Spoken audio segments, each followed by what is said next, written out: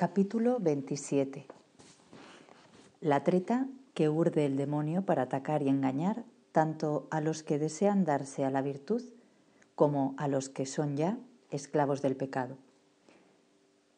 Debes saber que los, lo que con más ansia desea el demonio es nuestra ruina y que para lograrla no usa con todos los mismos ardides. Comenzaré pues describiéndote algunos de sus artificios, métodos y engaños, partiendo de diferentes estados y situaciones del hombre.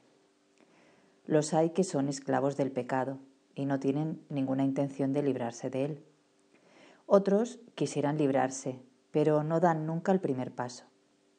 Otros se imaginan que andan por el camino de la virtud y lo que hacen es alejarse de ella. Otros, en fin, después de haber alcanzado la virtud, caen en mayor ruina. Vamos a estudiarlos uno por uno. Capítulo 28. Engaños que usa el demonio con aquellos que tiene ya esclavos del pecado. Cuando el demonio tiene a alguien encadenado en la esclavitud del pecado, no deja de cegarlo cada vez más, alejándolo de todo pensamiento que pueda conducirlo a descubrir lo infeliz que es su vida.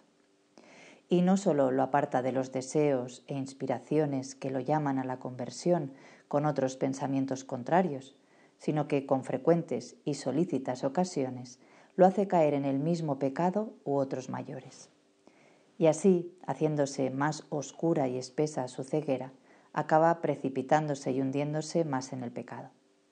De manera que pasando de una ceguera a otra mayor y de una culpa a otra culpa mayor, su pobre vida discurre, si Dios no lo remedia con su gracia, en una especie de círculo vicioso hasta la muerte. Y para tanto mal no creo que haya más remedio que el que se halla en tan triste estado se apresure a abrirse al pensamiento y a las inspiraciones que lo llaman de las tinieblas a la luz, e invoque con todo el corazón a su Creador. Ayúdame, ayúdame pronto, Señor, y no dejes que permanezca más en esta noche de pecado. Y repita una y otra vez su grito con esas o semejantes palabras. Tan pronto como pueda, debe acudir a su director espiritual a pedirle ayuda y consejo para librarse del enemigo. Si no puede acudir enseguida, recurra sin demora al crucifijo, arrojándose a sus pies con el rostro en tierra y recurra también a la Virgen María, implorando su misericordia y su ayuda. Precisamente en esa solicitud está la victoria, como verás en el siguiente capítulo. Capítulo 29 arte y engaños con los que el demonio enreda a los que, conociendo su mal, quieren librarse de él, y por qué tan a menudo nuestros propósitos no logran su efecto. Los que ya son conscientes de la vida depravada que llevan y desean cambiarla, son engañados y vencidos a menudo por el demonio con tretas como esta. Luego, luego, mañana, mañana, cras, cras, como dice el cuervo. Antes voy a resolver este asunto, a liberarme de estas banalidades, y después me entregaré con más calma a la vida espiritual. Son muchos los que han caído y caen todavía en esa trampa.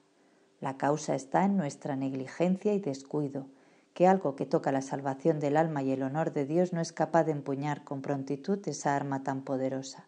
Ahora, ahora, ¿por qué después? Hoy, hoy, ¿por qué mañana? diciéndose a sí mismo, aun cuando se me concediera el después y el mañana, ¿es acaso camino de salvación y de victoria ese querer recibir antes las heridas y provocar nuevos desórdenes?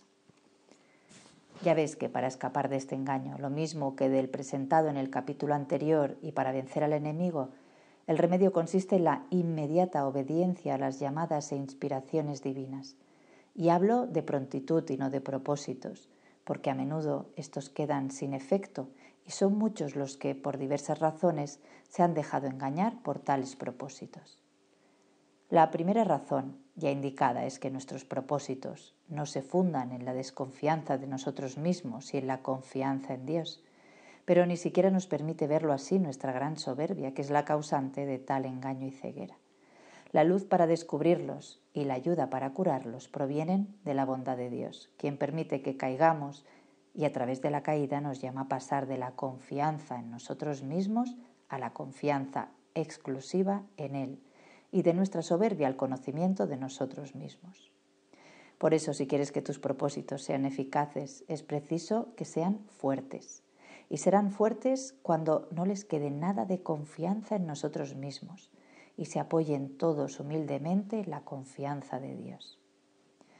Otra razón es que cuando nos decidimos a formular propósitos nuevos, solemos fijarnos en la belleza y en el valor de la virtud que atrae nuestra voluntad, por débil y frágil que sea, pero apenas se le pone delante esa dificultad que es indispensable para la adquisición de la virtud, cede y se echa atrás, como débil e inexperta que es.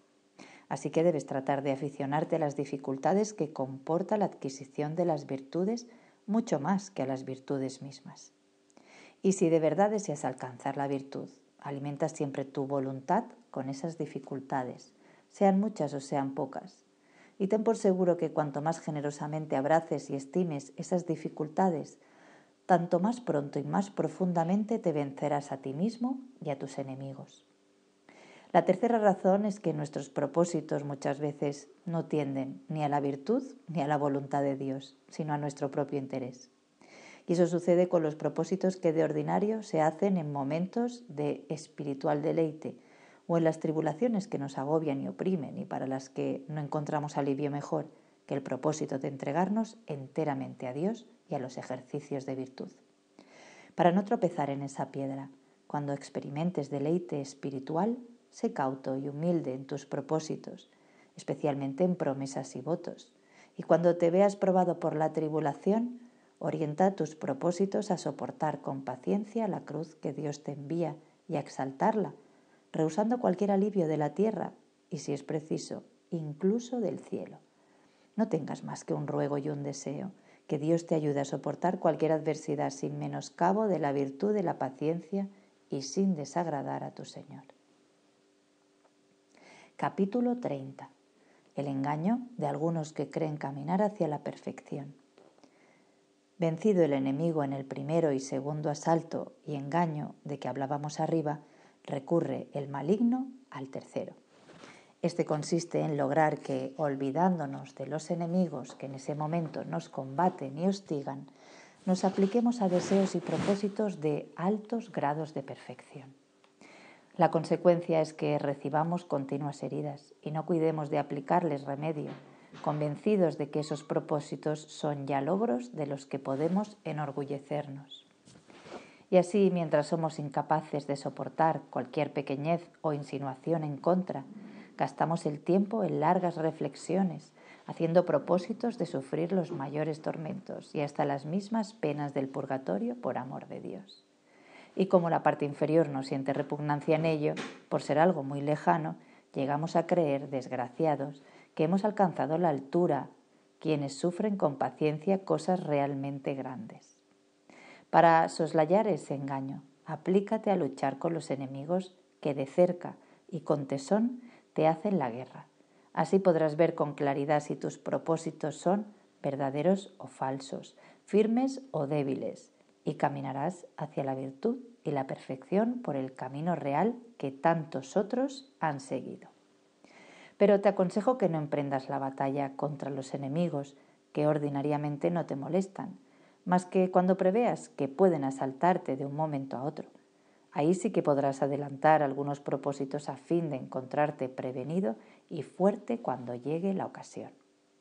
Lo que nunca has de hacer es juzgar tus propósitos por los resultados obtenidos, por más que durante algún tiempo te hayas ejercitado en las virtudes como es debido. En eso sé humilde y recela de ti y de tu debilidad y confiando en Dios recurre a Él con oración asidua para que te dé fuerzas y te guarde de los peligros, sobre todo de la más mínima presunción y confianza en ti mismo. En este caso, aunque no logremos vencer ciertos pequeños defectos que muchas veces Dios nos deja para que con humildad nos conozcamos y conservemos lo bueno que tenemos, sí podremos proponernos alcanzar un grado superior de perfección. Capítulo 31. El engaño y la guerra que nos hace el demonio para que dejemos el camino que lleva a la virtud. El cuarto artificio, ya antes aludido y del que se sirve el demonio para asaltarnos cuando nos ve caminar rectamente hacia la virtud, consiste en diversos buenos deseos que excita en nosotros para lograr que del ejercicio de la virtud caigamos en el vicio. Supongamos que una persona enferma va soportando su enfermedad con el mejor talante. Lo que hará el astuto enemigo, que sabe muy bien que así ese enfermo puede alcanzar la virtud de la paciencia, será ponerle delante de los ojos las muchas obras buenas que podría llevar a cabo en una situación diversa. Y hará lo posible por convencerlo de que, estando sano, serviría mejor a Dios y sería más útil a sí mismo y a los demás. Encendido en él ese deseo, se lo va acreciendo de tal manera que llega a ponerlo en desasosiego por no poderlo realizar como quisiera. Y cuanto más crece y se afirma en él ese deseo, tanto más crece la desazón. Desazón que el enemigo aprovecha sagazmente para conducirlo poco a poco hasta la impaciencia y rebeldía contra la enfermedad, no por la enfermedad en sí misma, sino por ser un impedimento para esas obras que con tanto interés deseaba realizar buscando un bien mayor. Una vez que la ha empujado hasta ese punto, le quita rápidamente del pensamiento la intención del servicio de Dios y de las buenas obras, y le deja mondo y lirondo el deseo real de librarse de su enfermedad. Al ver que eso no sucede, se turba de tal manera que llega a perder totalmente la paciencia y así sin darse cuenta viene a caer de la virtud en que se ejercitaba en el vicio contrario.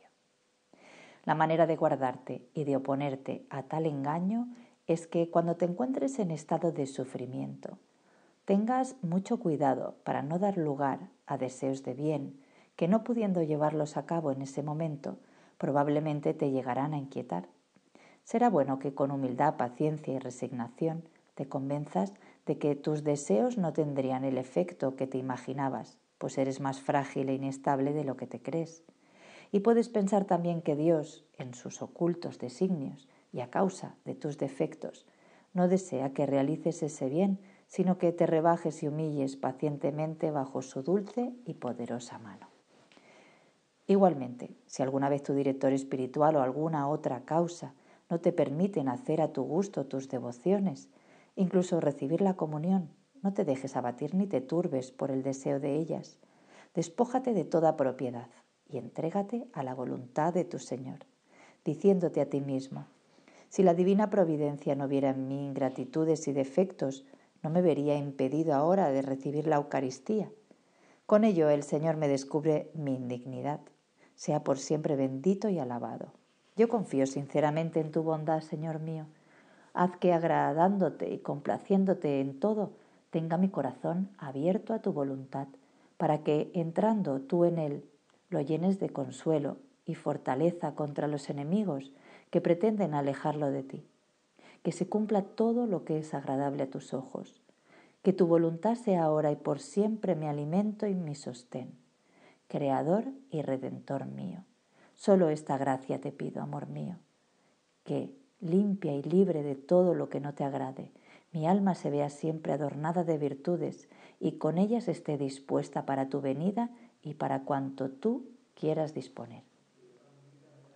Si logras ser fiel a esos principios, no dudes que en cualquier deseo de bien que te veas imposibilitado de realizar, bien sea a causa de tu naturaleza o del demonio que quieren turbarte y alejarte del camino de la virtud, bien sea porque es Dios quien quiere probar tu entrega a su voluntad, tendrás siempre la mejor ocasión de agradar a tu Señor como Él quiere. Precisamente en eso consiste la verdadera devoción y el servicio que Dios espera de nosotros. Y a fin de que no pierdas jamás la paciencia en las pruebas, vengan de donde vengan, quiero advertirte que si llegas a echar mano de los medios lícitos que los siervos de Dios suelen usar, no lo hagas con el deseo y la intención de verte libre de tus pruebas, sino solo porque Dios quiere que se usen. Nosotros ni siquiera sabemos si Él quiere que nos veamos libres recurriendo a ellos. De lo contrario, podrías caer en males peores, en la impaciencia, al ver que las cosas no suceden según tu deseo e intención, o bien en una paciencia muy defectuosa, poco agradable a Dios y de escaso mérito.